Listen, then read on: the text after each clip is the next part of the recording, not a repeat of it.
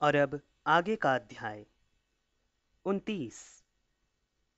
नरेंद्र और महेंद्रनाथ गुप्त नरेंद्र के घर के वरांडे में बैठे थे। ठाकुर तुम्हें स्मरण कर रहे थे। क्या कह रहे थे? हाजरा ने बताया है कि तुम फिर किसी मुकदमे में पड़ गए हो। पुराना मुकदमा है, मकान वाला। बाबा के समय से ही चल रहा है। हाजरा को अब मालूम हुआ होगा। ठाकुर क्या कह रहे थे? ठाकुर ने कहा है, नरेंद्र जगदम्बा को नहीं मानता। देह धारण करके शक्ति को मानना चाहिए। शक्ति को अस्वीकार करने में उसका इस सीमा तक जाना अच्छा नहीं। अब तो शक्ति के ही अधिकार क्षेत्र में आया है। जज साहब भी जब गवाही देते हैं तो उन्हें अपने आसन से उठकर गवाह के कटघरे में आना होता है। फिर उन्होंने मुझसे पूछा, क्या तुमसे नरेंद्र की भेंट नहीं हुई? मैंने बताया कि इधर नहीं हुई। बोले, एक बार मिलना और गाड़ी में बैठाकर यहाँ ले आना नरेंद्र ने कोई उत्तर नहीं दिया। आज दक्षिणेश्वर चलोगे नहीं, आज नहीं। मुझे बैरिस्टर के पास मिलने जाना है मुकदमे की अगली तारीख के लिए। इस आर्थिक स्थिति में तुम मुकदमा कैसे लड़ रहे हो नरेंद्र अपने अधरों पर एक अवसन मुस्कान ले आया। बैरिस्टर बाबा के मित्र हैं। वो हमारी सहायता कर रहे हैं और कुछ घर का सामान बिक रहा है। ठाकुर शनिवार को अधरचंद्र सेन के घर आ रहे हैं। वहीं आ जाओ। शनिवार को, ठीक है, आने का प्रयत्न करूँगा। ठाकुर अपने कमरे में अकेले बैठे, सहजावस्था में हल्के हल्के कोई गीत गुनगुना रहे थे। नरेंद्र ने आकर उनके चरण पकड़ लिए। ठाकुर ने उसकी ओर देखा। क्या है रे? आज ये सब क्या हो रहा है? आपने कहा था कि अपनी माँ और भाइयों के पालन का दायित्व मुझे सौंपा गया है। हाँ कहा तो था। यदि माँ की इच्छा ना होती तो तेरे पिता का देहांत क्यों होता? अपने दायित्व को पूर्ण करने में मैं सर्वथा असमर्थ रहा हूँ। तो जिसका दायित्व है, उसे ही लौटा रहा हूँ। तो मेरे पाँव क्यों पकड़े हुए है? आप जगदम्बा से कहें कि वो अपना काम अपने हाथ से करे, मुझे इस दायित्व से मुक्त करे। क्या हो गया है आज? तेरा पौरुष इतना दीन क्यों हो रहा है? क्योंकि अपने पौरुष का भ्रम मिट गया है। मेरी माँ और भाइयों का कष्ट दूर करने के लिए आपको जगदम्बा से प्रार्थना करनी होगी। ठाकुर छिटक कर अलग खड़े हो गए। मैं ऐसी सांसारिक बातें माँ से नहीं कहता, उसकी माया है। वो स्वयं चलाए, जैसे उसका मन चाहे। मैं टांग अड़ाने वाला कौन हूँ? नरेंद्र हठपूर्वक बोला, जब संसार उसका है तो सांसारिक बातें भी तो उसी से ही कही जाएँगी। तू कहाँ मानता है कि संसार उसका है? मानता है क्या? माँ को तू नहीं मानता, इसीलिए तुझे कष्ट है।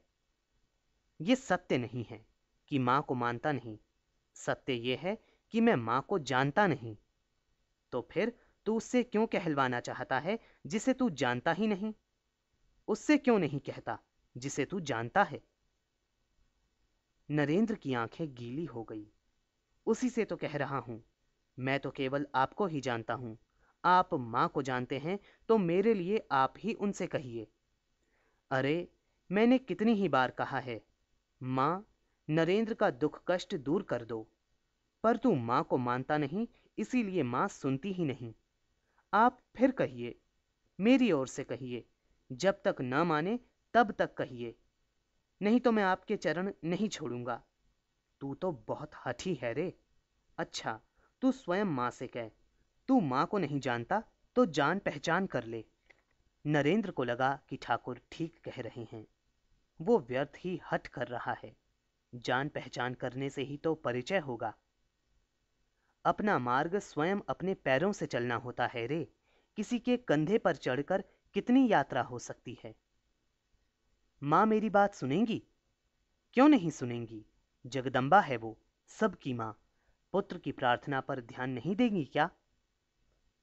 नरेंद्र आत्मलीन सा सोचता रह गया। क्या कहे वो? आज मंगलवार है। रात को काली मंदिर में जाकर माँ को प्रणाम कर। तू जो कुछ मांगेगा माँ तुझे वही देंगी। ठाकुर के स्वर में वचन का सा भाव आ गया। मेरी माँ चिन्मयी ब्रह्म शक्ति है। उन्होंने अपनी इच्छा से इस संसार का प्रसव किया है। वो चाहें तो क्या नहीं कर सकती। ठाकुर के चरणों पर से नरेंद्र की पकड़ शिथिल हो गई। ठाकुर ने अपने पैर खिसका लिए। नरेंद्र उठ बैठा। जा, मन की उद्विग्नता शांत कर। चिंता, विरोध और अहंकार को गंगा में तिरोहित कर आ। मन में सतोगुण की वृद्धि कर। माँ का ध्यान कर। नरेंद्र उन्हें हाथ जोड़कर गंगा तट पर जा बैठा। रात का एक प्रहर बीत चुका था। नरेंद्र वैसे ही गंगा तट पर बैठा था। ठाकुर उसके निकट आ खड़े हुए। जा अब, मंदिर में जा। माँ के दर्शन कर। अपने परिवार के लिए जो मांगना हो, मांग ले। नरेंद्र ने एक बार दृष्टि उठाकर उनके चेहरे की ओर देखा और फिर उठ खड़ा हुआ। वो मंदिर की ओर चल पड़ा। ठाकुर भी उसके पीछे पीछे चले, किंतु उनकी चाल पर्याप्त धीमी थी। वो मंदिर की ओर ना जाकर अपने कमरे में बैठ गए, जहाँ से मंदिर का द्वार दिखाई पड़ता था। उन्होंने देखा कि नरेंद्र मंदिर में प्रवेश कर रहा था। नरेंद्र ने मंदिर में प्रवेश किया। उसका चेहरा जैसे आवेश से दीप्त था। मन में आतुरता थी। अपने चारों ओर वो जैसे किसी दिव्य अस्तित्व का अनुभव कर रहा था। उसे लगा, मंदिर जैसे इस लोक का अंग नहीं था। उसमें तो दिव्य ऐश्वर्य का लोक वर्तमान था। उसने दृष्टि उठाकर माँ की प्रतिमा की ओर देखा। वो निर्जीव प्रतिमा नहीं थी। यथार्थ में ही चिन्मयी, अनंत प्रेम और सौंदर्य की आधार रूपिणी सशरीर विद्यमान थी। नरेंद्र का हृदय भक्ति से आप्लावित हो रहा था। अत्यंत विह्वल बालक के समान उसके कंठ में से एक सिस्कारी उभरी। आँखों में अश्रु आ गए, उसके हाथ जुड़ गए और मुख से निकला। माँ, वो भूमिष्ठ हो, माँ को बार बार प्रणाम करता रहा। न मन में और कुछ था, न जिहवा पर। बार बार स्वतः ही उच्चारित हो रहा था, माँ। वो जैसे माँ के दर्शनों से अभिभूत था। कई बार प्रणाम कर माँ माँ पुकार लेने के पश्चात उसकी दृष्टि माँ के मुख पर जैसे चिपक गई। उसका संपूर्ण अस्तित्व उसकी दृष्टि में ही समा गया। उसके मुख से प्रस्फुटित हुआ, माँ, मुझे भक्ति दो, वैराग्य दो, विवेक दो माँ, ताकि मैं तुम्हारा अबाध दर्शन करता रहूँ। उसे लगा कि वो किसी शांति सागर में किसी शांत द्वीप पर बैठा था। आसपास कुछ नहीं था। सारा संसार प्रपंच विलीन हो गया था। बस वो था और माँ थी। ठाकुर ने अपने स्थान पर बैठे देखा कि नरेंद्र मंदिर से बाहर आ रहा है। उसके पैर डगमगा रहे थे जैसे नशे में हो। मन झूम रहा था और अधरों पर माँ की स्तुति थी। वो पर्याप्त निकट आ गया तो ठाकुर ने पूछा, क्यों रे? माँ से गृहस्थी का अभाव दूर करने की प्रार्थना की है ना? नरेंद्र चौंका, कुछ विस्मित और कुछ चिंतित हुआ। नहीं महाराज, वो तो मैं भूल ही गया। उनका उद्धार कैसे होगा, जिनको समय पर अपने हित अहित का ध्यान नहीं रहता? मैं तो तेरे लिए ईशान जैसे छोटे छोटे अधिकारियों से भी याचना करता रहता हूँ, और तू है कि माँ के सामने से भी खाली हाथ लौट आया। खाली हाथ? नहीं, मैं खाली हाथ तो नहीं लौटा महाराज, याचना तो मैंने भी की, किंतु अब क्या करूँ महाराज? जा जा ठाकुर ने जैसे उसे मंदिर की ओर धकेला, फिर जाकर प्रार्थना कर, अभी कुछ नहीं बिगड़ा। ठाकुर अपने स्थान पर बैठे मुस्कुराते रहे। उन्होंने देखा कि नरेंद्र पुनः मंदिर में गया है। उन्होंने अपनी आँखें बंद कर ली। ठाकुर ने अपनी आँखें खोली। नरेंद्र मंदिर से बाहर आ रहा था।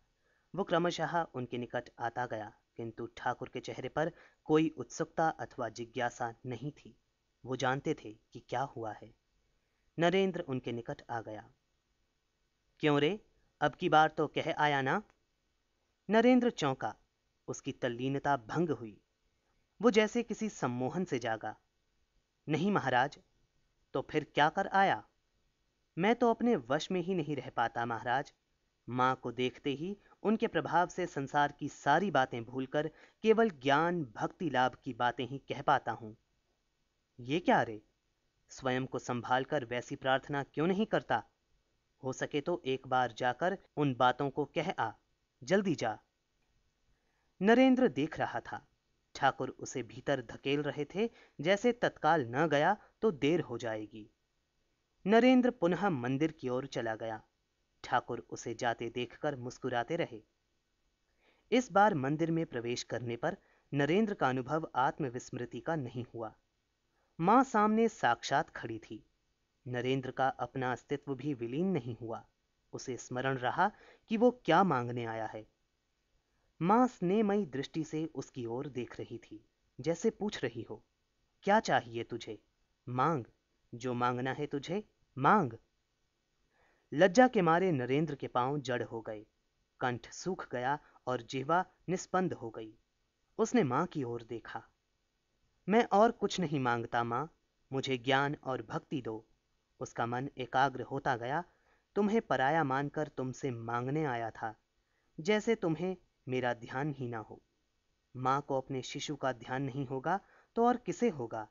माँ ने यदि अपने शिशु के मुख से दूध का कटोरा हटा लिया है तो उसका भी कोई कारण होगा। शिशु को कोई ऐसा रोग होगा, जिसमें दूध पीना उसके लिए हानिकारक होगा। मुझे भक्ति और ज्ञान दो माँ केवल भक्ति और ज्ञान और कुछ नहीं। माँ माँ। ठाकुर अपने स्थान पर बैठे नरेंद्र को मंदिर से निकलते देखते रहे। वो पूर्णतः आत्मलीन था। क्यों रे?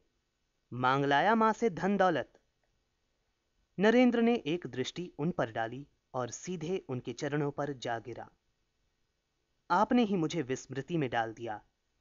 मेरा ये मति भ्रम आपका ही दिया हुआ है। अब आपको ही कहना होगा, जिससे मेरे परिवार वालों को अन्न वस्त्र का कष्ट न हो। अरे मैं तो वैसी प्रार्थना किसी के लिए भी नहीं कर सका। मेरे मुख से तो वैसी कोई सांसारिक याचना निकलती ही नहीं। तो मैं अब किसके पास जाऊँ, किससे याचना करूँ? तुझे कह दिया कि जो कुछ माँ से मांगेगा, वही पा जाएगा। तो अब और क्या चाहिए तुझे? पर माँ के सम्मुख जाकर मैं कद्दू कोहड़ा तो नहीं मांग सकता। नहीं मांग सकता मैं माँ से। तू मांग नहीं सका तो तेरे भाग्य में सांसारिक सुख है ही नहीं। अब बता, मैं क्या करूँ? माँ से नहीं कहना चाहते तो आप स्वयं ही वर दीजिए कि मेरे परिजनों के कष्ट दूर हों। आपके एक बार कह देने से ही उनके अभावों की पूर्ति हो जाएगी। तुझे विश्वास है? हाँ, मुझे दृढ़ विश्वास है। ठाकुर उसकी ओर देखते रहते हैं। नरेंद्र अब भी उनके चरण दृढ़ता से पकड़े हुए था।